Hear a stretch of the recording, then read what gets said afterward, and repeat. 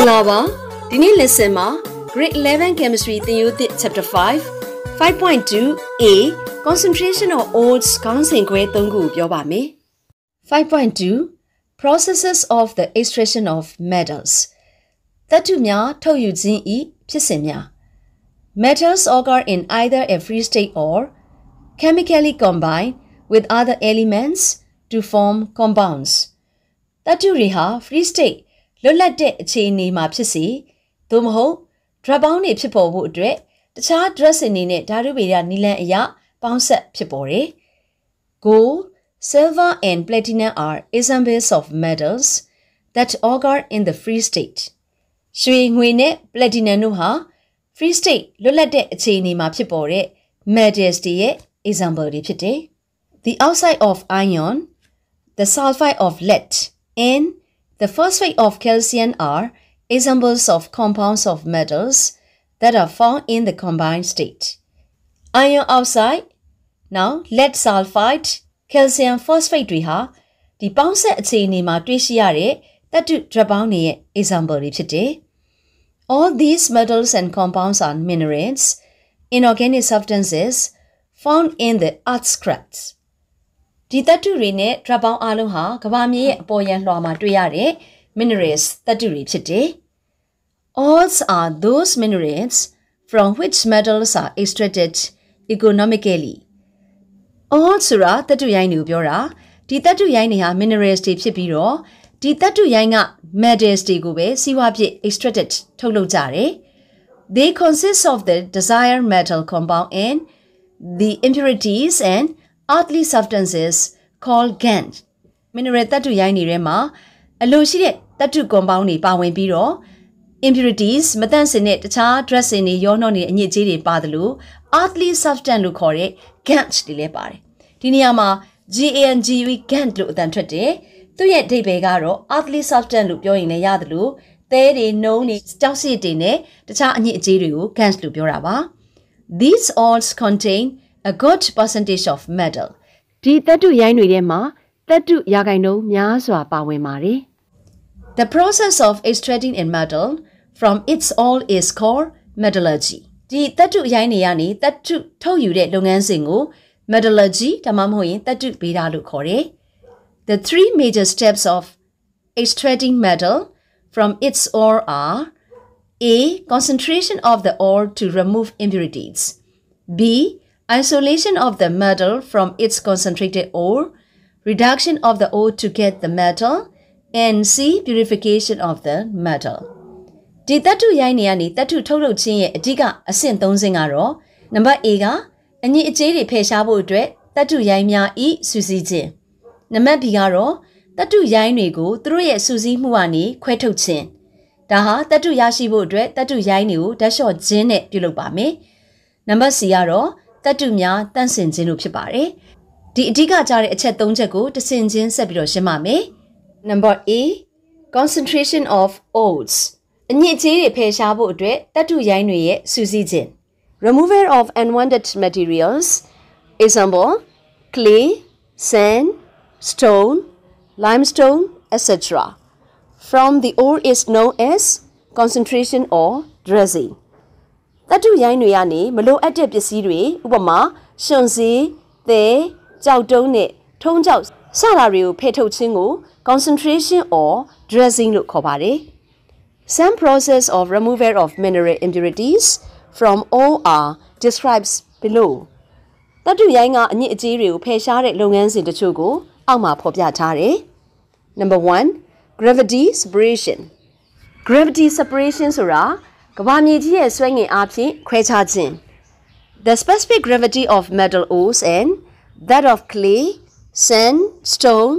limestone and some other non-metals are different. တတုရိုင်းတွေရဲ့တိကျတဲ့ dress ဆွဲအားနဲ့ရှင်စီသဲကြောက်ထုံးကြောက်နဲ့အခြားတတုမဟုတ်တဲ့ပစ္စည်းတွေရဲ့ dress ဆွဲအားဟာကွဲပြားခြားနားပါတယ် The crush ores are stirred with adding water or wash with blowing water ကြေမော့နေတဲ့တတ္တုရိုင်းတွေကိုရေထည့်ပြီးတော့ရောမွေမယ်ဒါမှမဟုတ်ရင်လည်းရေနဲ့စေကြောပါမယ် Thus the lighter material impurities are washed away and the heavier ores are left behind ဒီလိုမျိုးရေနဲ့ရောမွေတဲ့အတွက်ကြောင့်တော်၎င်းဒါမှမဟုတ်ရင်လည်းရေနဲ့ဆေးကြောတဲ့အတွက်ကြောင့်တော်၎င်းပို့ပြီးတော့တင်းငယ်တဲ့တတ်တုအညစ်အကြေးတွေကိုဆေးကြောပြီးသားဖြစ်ပြီးတော့ပို့ပြီးတော့လေးလံတဲ့တတ်တုရိုင်းတွေဟာကျန်ရစ်ခဲ့ပါမယ် နံပါတ်2 fruit flotation process အမြုပ်ပေါ်နီးလုပ်ငန်းစဉ်ကို figure 5.3နဲ့အတူရှင်းပါမယ်ဒီလို figure နဲ့အကျန်းရှင်းပြီးပြီဆိုရင် test ထဲမှာဖော်ပြထားတဲ့စာနဲ့အသေးစိတ်ပြန်ပြီးတော့ရှင်းပြပါမယ်ပုံမှန်ပြထားတဲ့အတိုင်းဒီ float flotation process ကိုရေဝေယာအားဖြင့် sulfite သတ္တုရိုင်းတွေကိုစုစည်းတဲ့အခါမှာအသုံးပြုတယ်။ဒီနေရာမှာစုစည်းတယ်ဆိုတာ concentrate လုပ်တယ်လို့ပြောပါတယ်။ဒီ process မှာ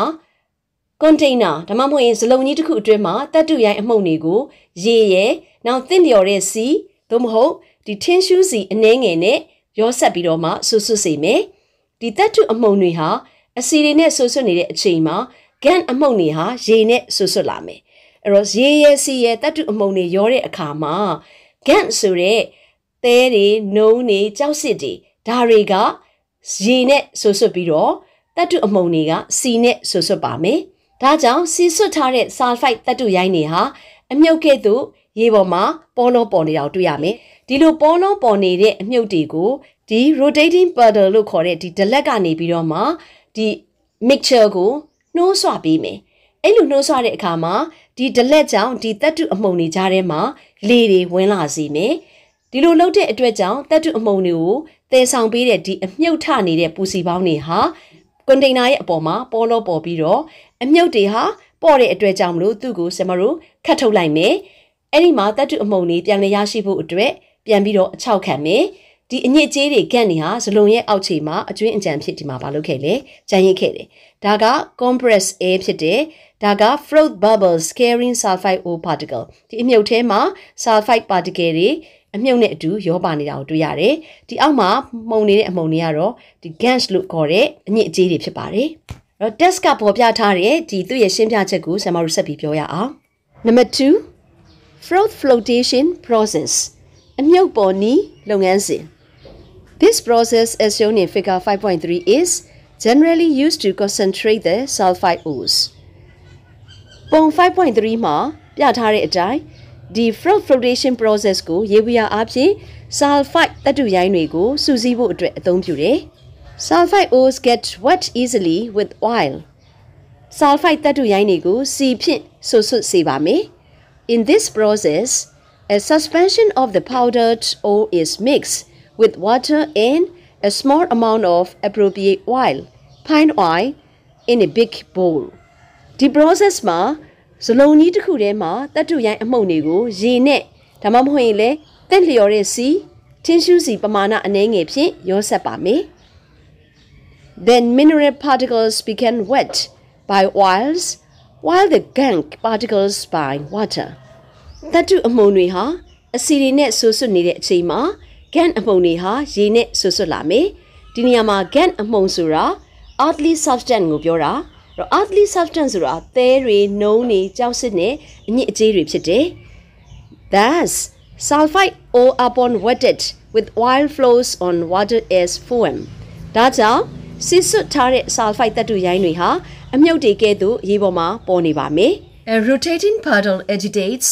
the mixture and draws air in it လှည့်နေတဲ့ဒလက်ကဒီ mixture ကိုနှိုးဆွပေးပြီးတော့အဲ့ဒီအမြုပ်တွေကိုလေကိုဝင်လာစေပါတယ် As a result, fruit bubbles which carry the mineral particles are formed. ဒီလို rotating puddle တလက်ကနေပြီးတော့လှည့်တဲ့အတွက်ကြောင့်တတ်တုအမှုန်တွေကိုပါလာတဲ့ဒီအမြုပ်တွေကဒီပူစီပေါင်းတွေဖြစ်ပေါ်လာတယ်။ The fruit is slidden is skim off. အမြုပ်တွေကပေါ်တဲ့အတွက်ကြောင့် skim off လုပ်လိုက်တယ်။ skim off လုပ်တယ်ဆိုတာဒီအမြုပ်တွေကိုခတ်ထုတ်လိုက်တယ်။ It is then drying for recovery of the old particles. အဲ့ဒီနောက်မှာတော့ all particles တွေကိုပြန်ရဖို့အတွက်အချောက်ခံပါမယ် then mineral impurities can settle at the bottom of the bowl as residues တတုအညစ်အကြေးတွေ gas တွေဟာဇလုံးအောက်ခြေမှာအကျွင်းအချံဖြစ်အနေကျနေပါမယ် number 3 magnetic separation တန်လိုက်ဖြင့်ခွဲခြားခြင်း this is based on differences in the magnetic properties of the ore components ဒီခွဲခြားတဲ့နည်းကတော့ တတုရိုင်းအမှုန်တွေရဲ့တန်လိုက်ဂုံသက်တိတွေကွဲပြားခြားနားမှုပေါ်မှာအခြေခံနေ This process is used if either of the ores or the GAN has the magnetic property တတုရိုင်းတွေဒါမှမဟုတ်ရင်ဒီအညစ်အကြေးတစ်ခုခုမှာတန်လိုက်တတ်ရှိတယ်ဆိုရင်ဒီ method ကိုအသုံးပြုတယ် Crash ores are passed through a plastic conveyor belt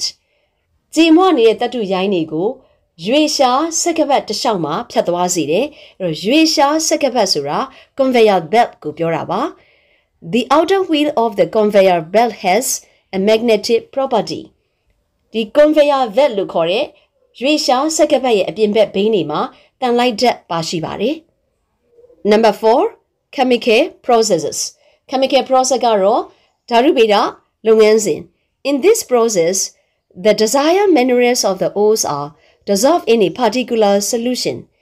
ဒီလုပ်ငန်းစဉ်မှာတတုရိုင်းထဲမှာပါဝင်တဲ့အလိုရှိတဲ့တတုတွေကိုသီးခြားပျော်ရည်တစ်ခုမှာပျော်ဝင်စေလိုက်တယ် then mineral impurities are separated by filtration